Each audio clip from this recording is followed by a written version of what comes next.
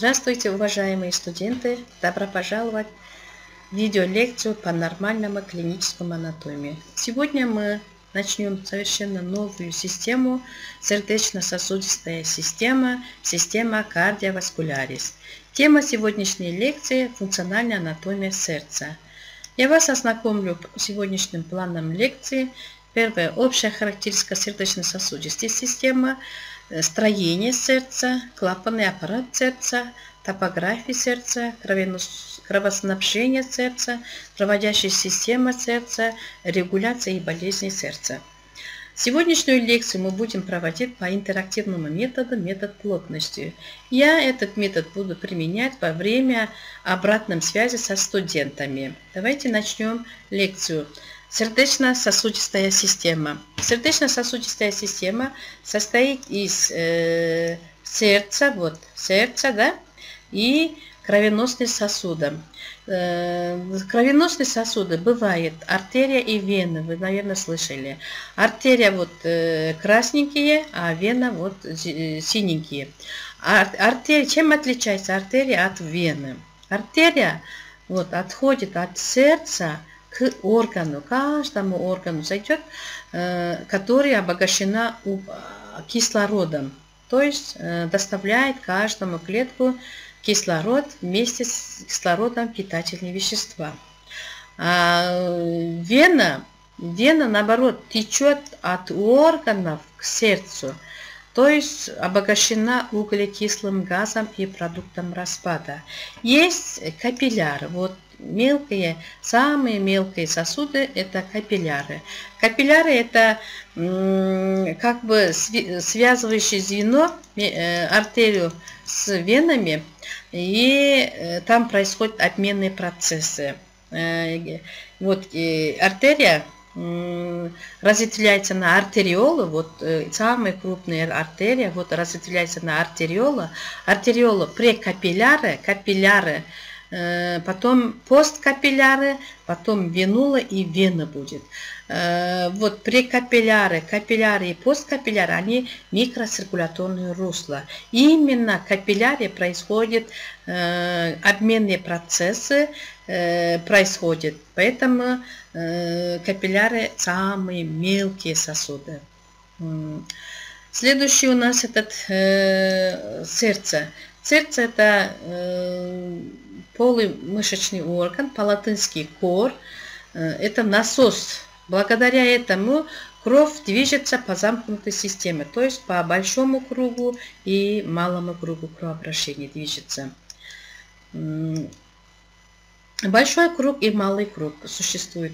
Впервые открыл ученый э, Гарвей в 1628 году. Большой круг кровообращения начинается с левого желудочка, отходит аорта. Аорта разветвляется на восходящую часть, нисходящую часть аорты. Восходящая часть аорта кровоснабжает все э, верхние части, грудной полость, э, э грудной полость, э, верхней конечность шеи и головы а нисходящая часть органы брюшной полости и нижней конечности кровоснабжает. Потом они э, превращаются в вены. Самая крупная вена это э, верхняя и нижняя половина попадает в э, правую прецедию. Это большой круг кровообращения. Э, малый круг кровообращения начинается от правого желудочка.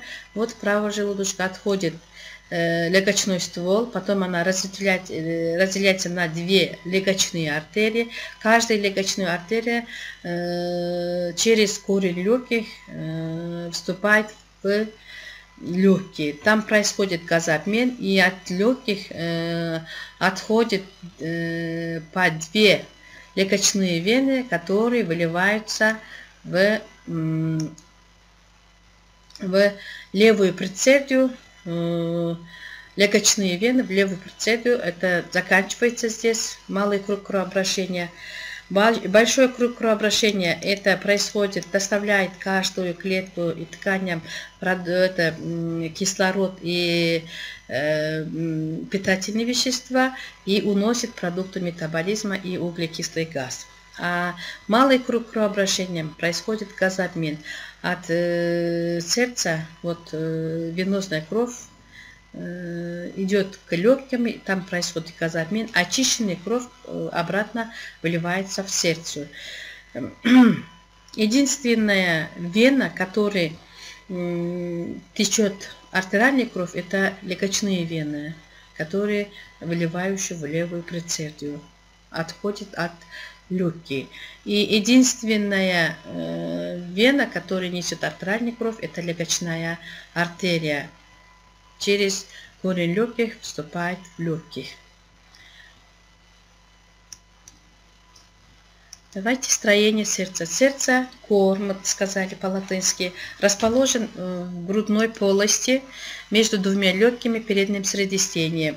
Она ограничена э, с, с, с, по бокам двумя э, легкими, правыми и левыми легкими. Снизу вот э, желтый диафрагма, спереди э, грудина и ребра, сзади комплекс органов э, заднего средостения, это пищевод и трахеи, бронхи.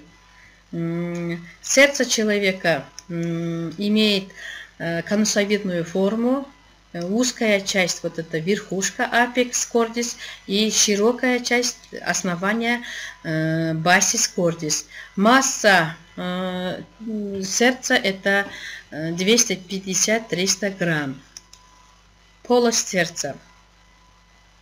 Сердце человека э, четырехкамерное, имеет четыре камеры. Вот правая предсердие, левая предсердие, правая желудочка и левая желудочка. Четыре камеры имеет. Э, межпредсердная перегородка и межжелудочковая перегородка разделит сердце человека на две половины. Правую половину и левую половину. Правая половина носит веносную кровь, а левая половина носит артериальную кровь. Эм, правую половину входит правая предсердия и правая желудочка, а левую половину входит левая предсердия и левая желудочка.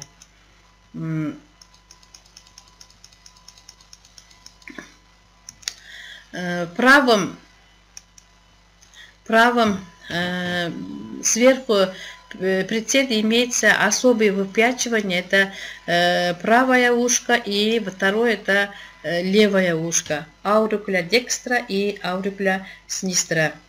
Стенки сердца. Стенки сердца имеет э, трех, трех, состоит из трех слоев. Самый внутренний слой это эндокард, вот, потом та, самый тол, толстый слой миокард, мышечный слой. Вот желтенький это эпикард. Э, внутренний слой эндокард, средний слой миокард и наружный слой эпикард. Кроме того, сердце покрыто околосердечной сумкой перикардом. Эм, эндокард. Эндокард образован на э, эластичной соединительной тканью эндотелием. Она э, плотно сращена с миокардом и покрывает сосочковые, вот этот сосочковые и сухожильными нитями, сосочковыми мышцами и сухожильными нитями. Образуют клапаны, вот такие клапаны образуют эндокард. Э, миокард. Миокард это Э, мы с вами по гистологии, э, наверное, знаете по гистологии, есть э, мышечная ткань, бывает поперечно-полосатая и гладкая. Гладкая мышечная ткань расположен в внутренних, стенках внутренних органов, когда мы проходили дыхательную систему, пищеварительную систему, там все мышечные слои расположен. Какие мышцы? Гладкие мышечные ткани, да? А скелет скелетная мышечная ткань, поперечная полосатая мышечная ткань бывает скелетной и сердечной. Вот особые сердечные ткани, это поперечная полосатая сердечная ткань, образована миокард. Там есть кардиомиоциты, особые клетки, да, мышечные клетки, эм, атипичные клетки расположены. Перикард. Перикард это вот снаружи сердце покрыто около сердечной сумкой перикардом. Перикард состоит из двух листков. Это вицеральные и париетальные листки. Э, ближе к сердцу это вицеральные, потом париетальные. Между этими листками находится циррозная жидкость. Да? Функции околосердечной сумки. Сердце покрыта околосердечной сумкой, это перикардом. Да? Перикард состоит из двух листков, висцеральный и париетальный. Э, висцеральный листков э, покрыто снаружи сердца, то есть ближе сердца. И между этими листками находится серозная жидкость. Да? Между этими находится серозная жидкость. Э, этот э, функция перикарда. Э, ограничительная функция создает, поддерживает форму сердца, уберегает от внезапного растяжения сердца. Э, второе это защитная, защищает от всяких микробов. Это э, оболочка же снаружи покрыта, поэтому защищает. Третье уменьшает трение сердца. Там жидкость есть, поэтому трения не будет. И четвертое перикардиальная щель смягчает толчки при ударах, падениях и ходьбе. Клапаны сердца. Клапаны сердца бывает два вида клапана. Вальва, кордис. Э, значит, клапан э, по латинскому вальва. Э, вальва, кордис бывает два вида. Предцепно-желудочковые клапаны и полулунные клапаны. Предцепно-желудочковые клапаны, створчатые клапаны, можно так сказать. Створчатый клапан – это складка эндокарда, закрывающая предцепно-желудочковые отверстия. Э, вот э, наше сердце, вот рисуем, э, имеет четыре камеры. Вот правая предсердие, а это левая предсердие, а это правая желудочка, а это левая желудочка. Четырехкамерное наше сердце. Вот э, предцепно-желудочковые клапаны или створчатые клапаны, сама себе говорит, она, она расположена между правым прицеп, это между прицепием и желудочками расположена. Значит, трехстворчатый клапан, первый клапан это расположен между правым прицепием и правым желудочком находится какой? Трехстворчатый клапан, вальва трискупидалис. И между левым прицепием предсердием и левым желудочком находится второй клапан, это э, вальва дискупидалис или митралис. Э, митральные одно и то же. Еще есть полулунные клапаны. Полулунные клапаны это э, расположен между желудочками и магистральными сосудами. Мы с вами сказали, что во время круги кровообращения. Есть и большой круг кровообращения и малый круг кровообращения. Большой круг кровообращения начинается от левого желудочка. Да, вот левого желудочка отходит аорта. Между аортой и между аортой и левым желудочком находится третий клапан. Это клапан аорта. Вальва аорталис. Четвертый клапан – это э, легочной ствол. Э, от правого желудочка отходит легочной ствол. Клапан легочного ствола. Вальва трункус пульмоналис. Это четвертый клапан. У сердца, этот, э, у сердца четыре клапана есть. Давайте повторяем еще раз. Четыре клапана. Это два вида клапана. Э, предцепно-желудочковые или створчатые клапаны. Это к ним относятся вот трехстворчатый клапан вальва трискупидалис и двухстворчатый клапан вальва дискупидалис или митралис. И полулунные клапаны. Полулунные клапаны расположены между желудочками и магистральными сосудами. Как мы сказали, левого желудочка отходит аорта. Э, между левым желудочком аортом находится аортальный клапан, вальва, аорталис. И правым желудочком отходит легочной ствол. Между легочным стволом и правой желудочком отходит, ой, находится э, трункус э, пульмоналис, вальва трункус пульмоналис. То есть клапан легочного ствола. Такие клапаны расположены. На макете как э, выглядит? Вот на макете вот мы покажем сейчас э,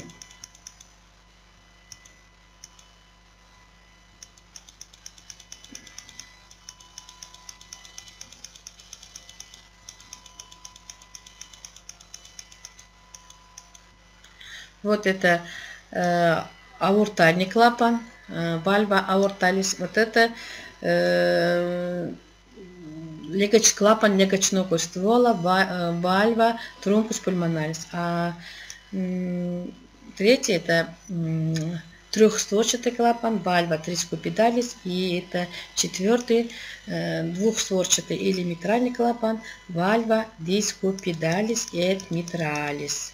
Одна и то же сказали, да? И это при уменьшении давления в желудочках, э, желудочках сердца заполняется кровью и закрывается по этот, э, полулунные клапаны, чтобы э, препятствовать обратным току сердца крови не было. Топография. Для топографии сердца для топографии сердца мы должны знать ориентировочные линии. 9 ориентировочные линии есть, да? Давайте вот это используем. Первая это э, передняя серединная линия, то есть э, через нос, да? Потом э, вот грудина 2 сантиметра, 1, 1,5 2 сантиметра к наружу это правая и левая около грудинная линия, парастерналис. И вот э, ключица, середина ключицы вот нарисована вот среднеключичная линия. Потом передно-подмышечная, средне-подмышечная и задне-подмышечная линия. Сегодня нам этот вот э, три линии нужно для топографии сердца.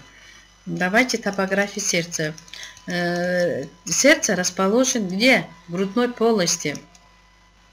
В грудной полости переднем средостении на уровне от 6 грудного до 8 э, грудных позвонков. На уровне этих позвонков расположен э, топография.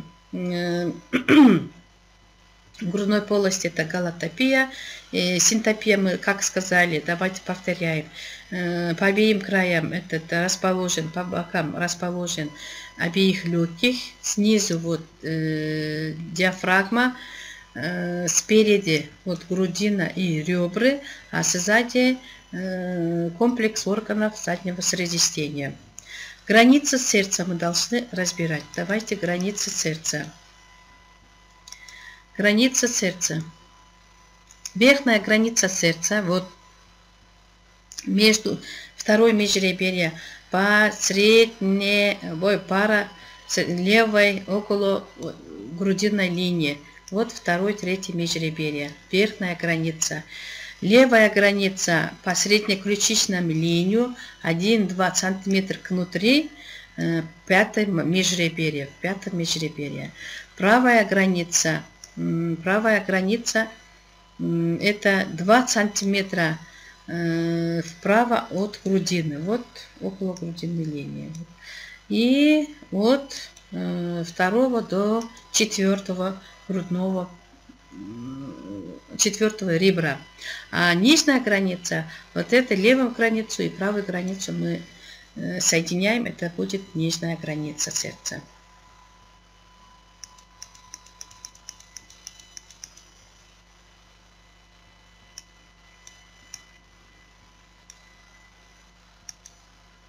Притоки. Какие притоки, какие сосуды выливает э, в сердце? Э, выливает в сердце это притоки э, в правый прицел выливает нижняя и верхняя полая вена. Вот верхняя полая вена и нижняя полая вена. Кава superior, вена кава inferior. А э, в левую, левую прицельно выливает вот э, 4 штук легочные вены. Вена пульмоналис. э, который единственный вена, мы сказали, несет артериальную кровь. Да? Теперь оттоки, оттоки э, от, э, от лево, правого желудочка отходит, вот правого желудочка отходит трункус пульмонарис